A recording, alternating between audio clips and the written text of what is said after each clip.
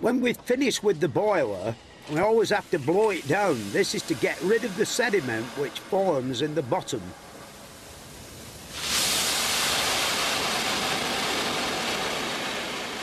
It reminds me of the mills in Bolton when I was a small boy.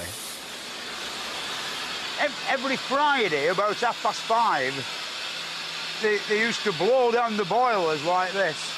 And when you're a kid, you know, it's quite frightening. Alas, you know, there were once 200 spinning mills in Bolton, and now there's only one. And that's propelled by electricity.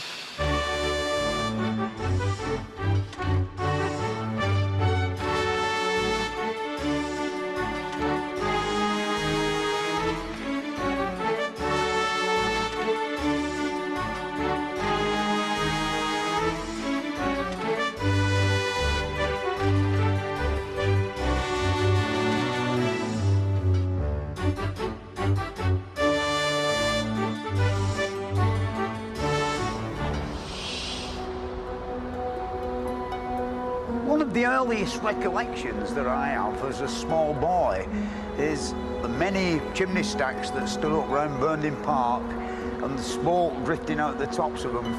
Uh, To me, it was quite romantic. A bit unhealthy, but quite romantic. Up to the 1960s, the textile industry was a major employer. In a Lancashire mill town like Burnley, there were more weaving looms than there were people. And many of the mill owners became very wealthy men. On a winter's night, where they had a night shift on in a big mill, when you went and looked through the windows, the hundreds of yards of line shafting all howling round, all like chromium plates, and the noise.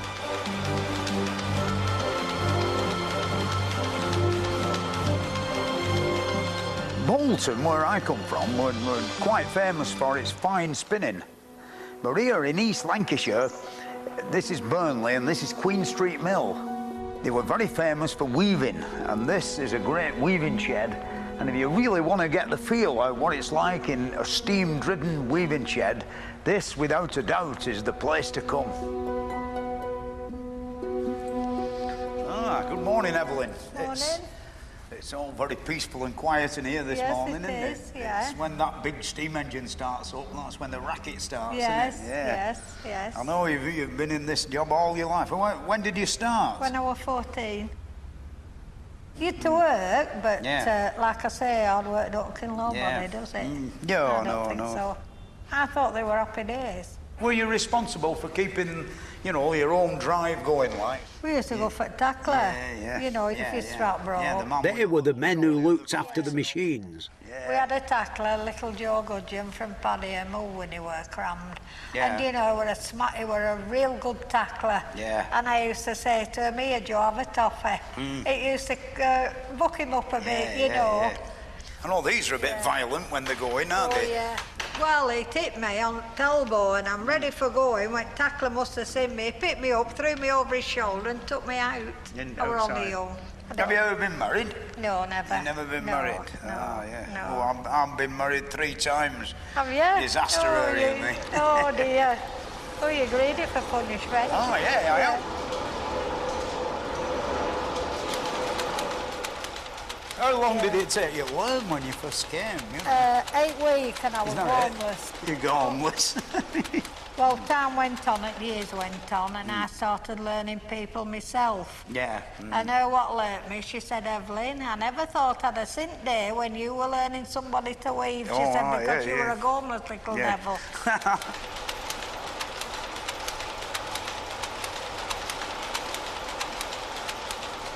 In an electrically driven weaving shed, there's only the electric motors and the, and the looms making the racket.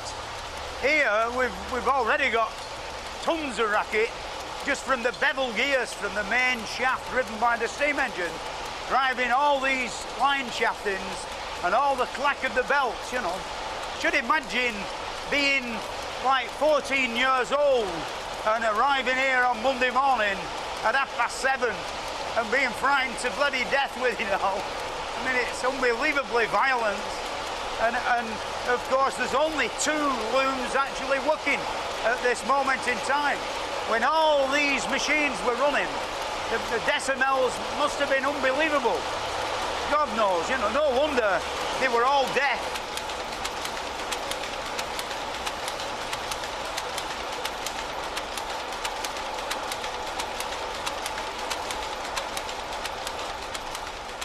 One day I was mending a chimney and the engineer at the mill, this particular engine were in a weaving shed similar to this. And you've heard how these gears roar and all that. Well, you can imagine they've, they've repaired the engine and it's the middle of the night and they set the engine on just to see if everything works all right. And all of a sudden, all the operatives appeared, or most of them, them who hadn't got an alarm clock, their lives were totally ruled by the, the noise of the gearing and the engine. You know, when the engine started, they thought it was seven o'clock. And in actual fact, it was three o'clock in the bloody morning, you know. They all, they all appeared ready for work at three o'clock in the morning. The man who keeps all the machinery running is Olwyn. And like all good engine drivers, he has to have a good ear just in case anything goes wrong.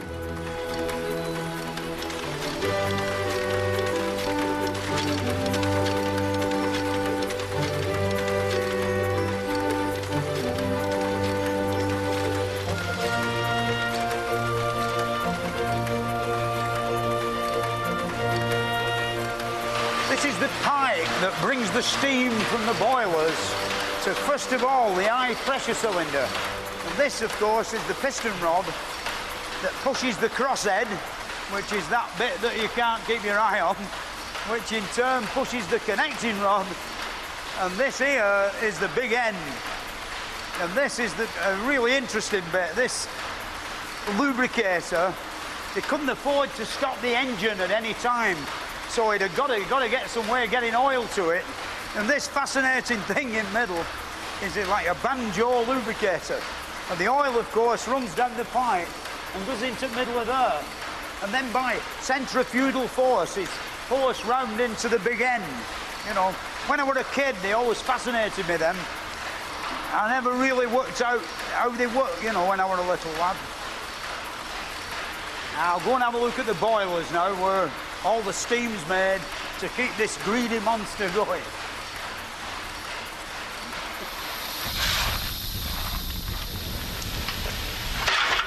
Hiya, Brian. Hello, Fred, you all right? Stoking up. Yes. Yeah, keep that big wheel going round Yes, that's true. Yeah, Um, when, when I was a kid, there were bloody hundreds of these, weren't there? There were three down every street, and, and now there's hardly any left. I mean, when you think, when this were working on maybe 100 and odd pound per square inch, every square inch of this had, had an hundred pound trying to get out, you know.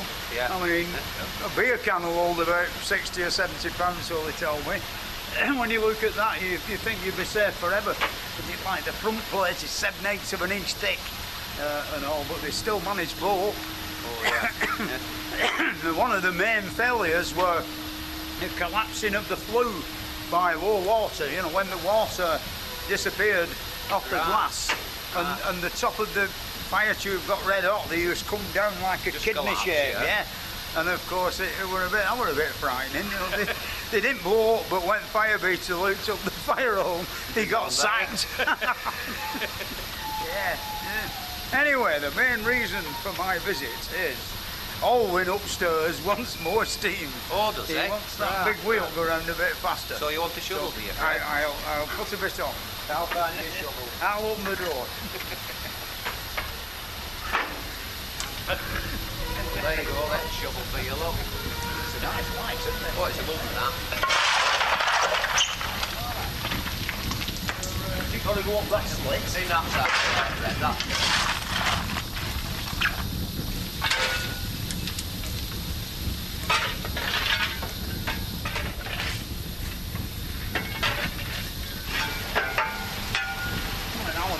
shovel, this one. Gold when heavy. People often ask me, why do they need big chimneys? You know, well, there's a simple answer to that. It's called draft. And we've just come from the boiler house, and of course, you've seen the ferocity of which the fires burn in the furnaces.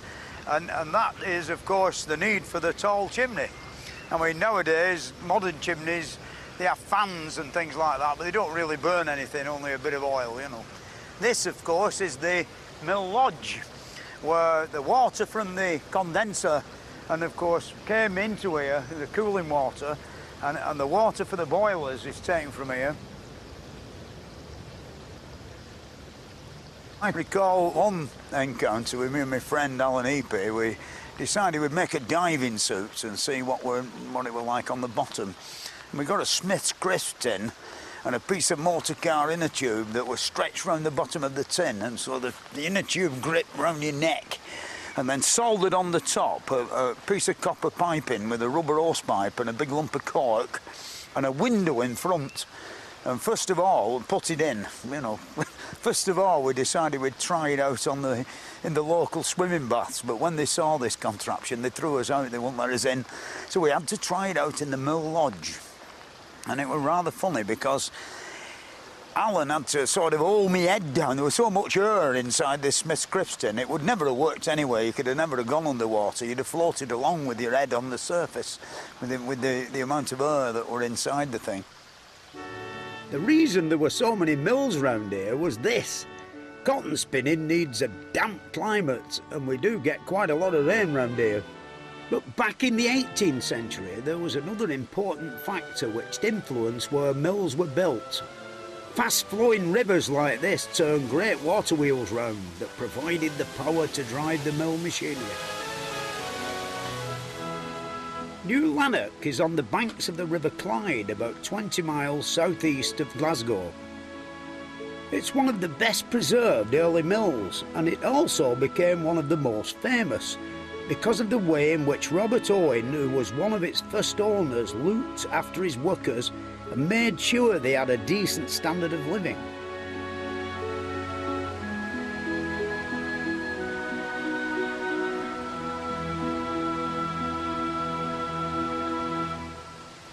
I could see why Mr. Owen and Mr. Dale picked this spot here in New Lanark to build this place. Number one, because of the water, but the other thing is it's, it's also very beautiful and picturesque. I don't think I'd have liked to have worked upstairs behind me on the top floor, but I wouldn't have minded being a maintenance man here. I should imagine that would have been very pleasurable.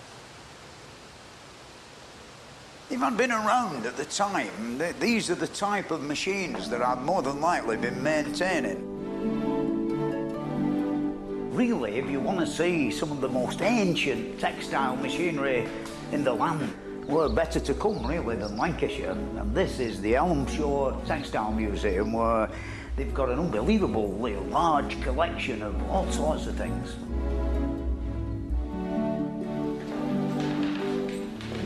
This is one of Richard Arkwright's water frames, you know. The reason for that, it were, it were called a water frame. It were actually a spinning frame driven by a water wheel.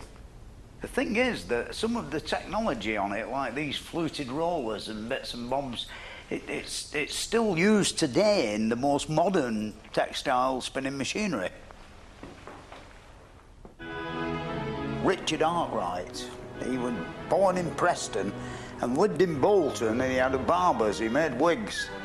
And nobody really knows how he got involved in the textile industry. Arkwright built himself a factory in Derbyshire powered by water to house these machines, and he is really regarded as the father of the factory system.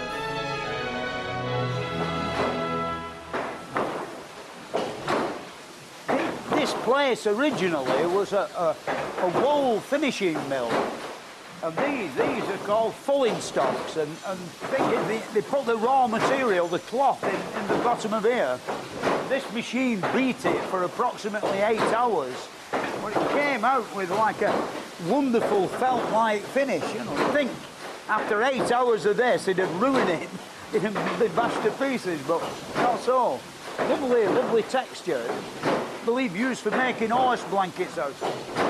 This, this machine made in 1849 and the whole place is driven by the water wheel in the background there.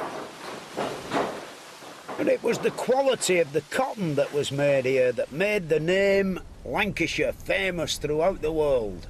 It stayed like this until the 1960s when the market for cotton collapsed with foreign competition and new synthetic fibres appearing on the market. This was the death knell of the cotton industry proper. The mills started to close down and the demolition men moved in. When they were closing, most of the scrapmen round here had Rolls Royces. It was all so sad. They just smashed all the windows and threw all the machinery out before they loaded it into their trucks.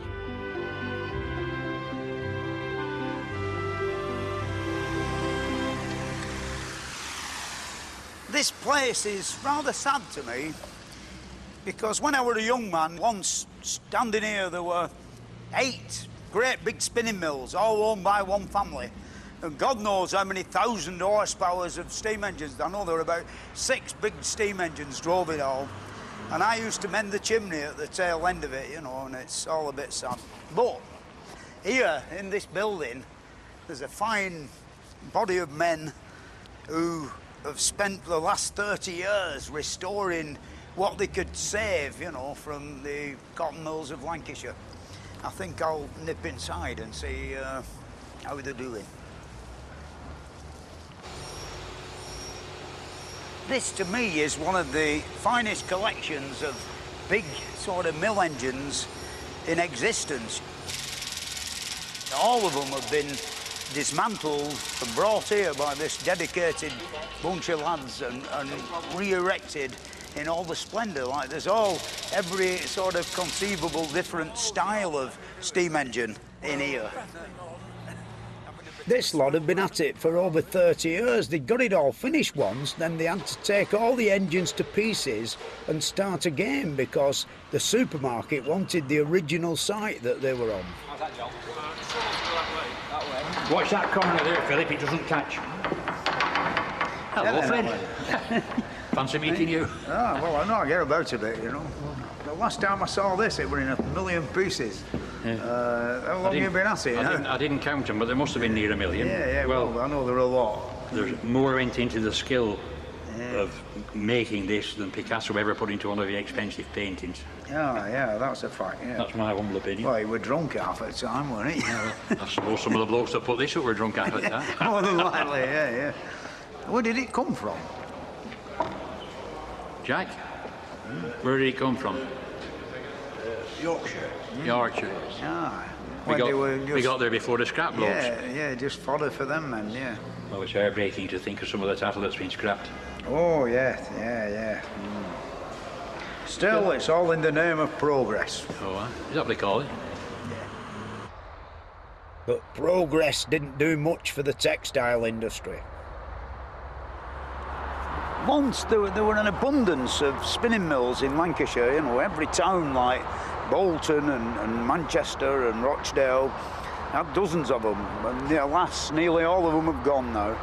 And this is all that remains here at Ellen Road, just off the M62 motorway near Rochdale. Mills like this were big places. 250 people used to work in this one. But now there's only the engine house left, and it's got one of Lancashire's last working steam engines inside. Good morning, Richard. Morning, You all right? Fred. Nice to see you again. Oh yes, yeah. Well, I- oh, I've been before, haven't I? yeah, it, it, I know it's a tandem something or other, but what, what is it really? You know, sort of thing. Well, if you if you really must know, it's a twin tandem compound steam mill engine, and it's a twin Yeah. because there are two engines Yeah. really. This is Victoria and mm. Alexandra there. Mm-hmm. To cut a uh, long story short, it's tandem because it's got two cylinders that work together in each engine, and compound because the steam is used twice in each cylinder. The engineer, if he came into the engine house, which mm. uh, normally you wouldn't be allowed to do anyway, but if uh, you crept in. And he didn't see you. You'd probably see him sitting in an armchair somewhere, Yeah, uh, like- looking perfectly relaxed. But the job was actually very Yeah. stressful. Yeah, Because um, the whole of the production of the mill relied on the, the engine running at Mm. a constant speed. If the, oper- the all the operatives, as you know, were Mm. on bonuses for the amount of uh, cotton that they produced, Mm. um, and if the engine broke down, uh, they they'd be losing money. But so would the management. Oh, aye, yeah. But it's complicated by the fact that uh, if the operatives put in for more money, then what the management would do would tell the engineer to speed the engine up so that they, mm. they wouldn't Lose any. lose anything, you see. And that meant it'd break down more often because it was under greater load. Yeah, yeah. And of course, so he got it in the neck from the management and from the Yeah. operatives. We used to go around and they'd put the mm. windows through and things like that, you know. And, Not very nice. no, no.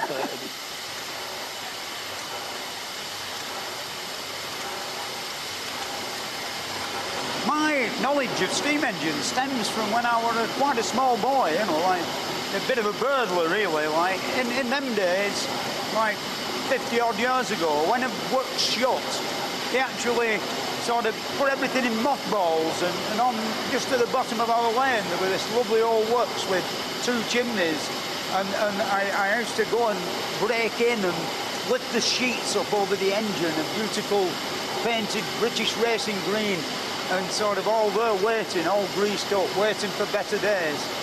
But alas, they never came, you know. Uh, my next recollection, a, a big wagon and the boilers being dragged out onto the wagon and no doubt exported to India or somewhere like that. More than likely still running in India.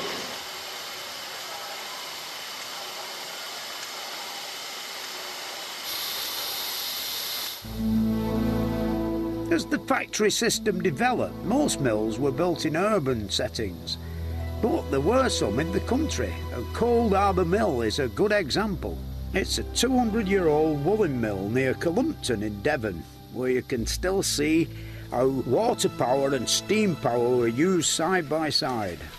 This is a roving machine and it's actually yeah. spinning the wool down Yeah, through, yeah. drawing it down much finer. Yeah. And uh, it's descended from Mark Bright's water frame, Yeah. so uh, it's the same Yeah. Hmm. sort of idea. But this one dates from 1907. Yeah. Would you like to turn it on? Yeah, I know, I know you've shown me earlier what... Uh,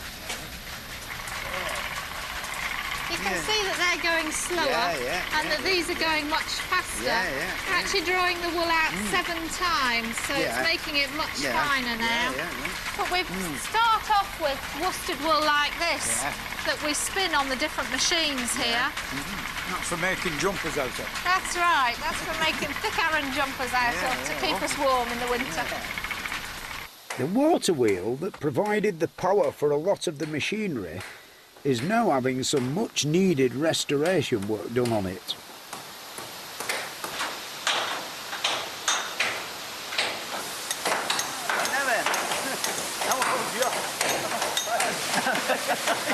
It's a bit moppy, isn't it? You know. a bit. I've had the money's worth out of this one. Yeah, yeah, they have. Oh, yeah. It must have been a bit on the tight side with all these patches. Yes, they kept it going with as little as possible. Is it, is it not the original one, this, is it? No, we think it's the third wheel that was Yeah. here. Uh, the wheel got bigger and bigger as the power demand got greater. Yeah. Because the mill was only a very small grist mill to start with. Originally, yeah. And uh, it may have had a wooden wheel. Yeah. And then the demand got greater, yeah. wheels got bigger. And then steam engines. Ah, that's right. Much more reliable. This is it then, the, the latest thing, yeah? Your, your Pollit and Wigzell one. That's it, 1910. Yeah. Brand new. I see it's got Mr. Tate's patent engine stock machine apparatus on it. That, for anybody who didn't really know, would if you got fast in the works upstairs and somebody could break the glass, they were they'd come down here and shut the valve and stop the engine. That's it. More than likely too late for whoever were fast in the works, but nevertheless, they tried. Yeah, it takes a lot of stopping, doesn't it? Yeah, 12 yeah. tons of flywheel. Yeah, yeah.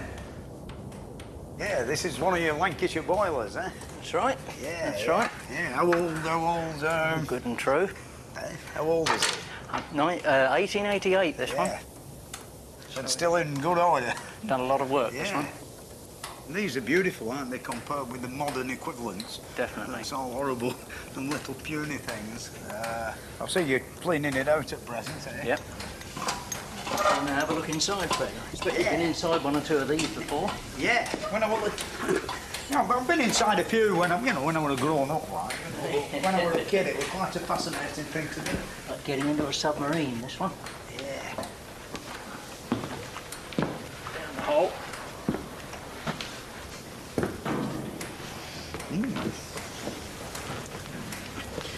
Hmm. Bath time.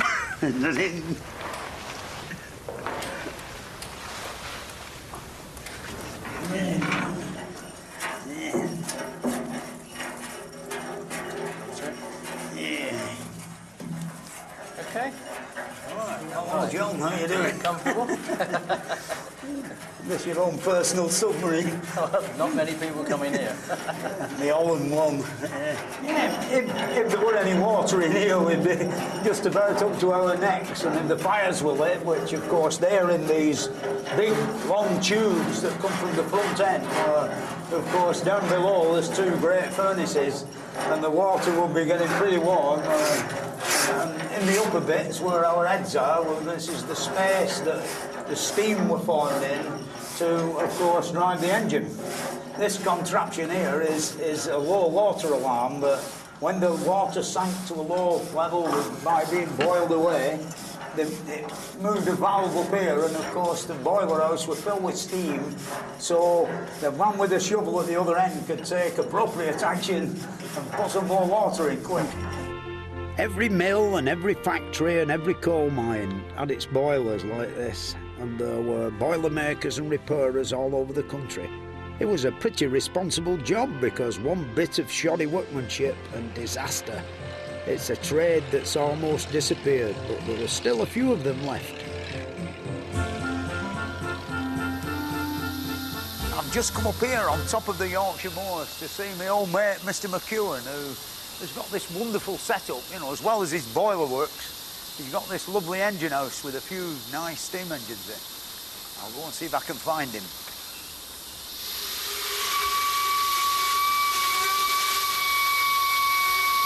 How about that then? Show me your engine.